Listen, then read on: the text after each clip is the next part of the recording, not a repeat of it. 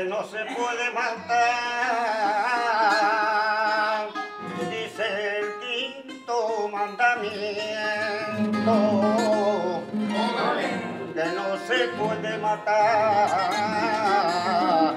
Diciendo tú tan cristiana y te vas curando va con esa cara.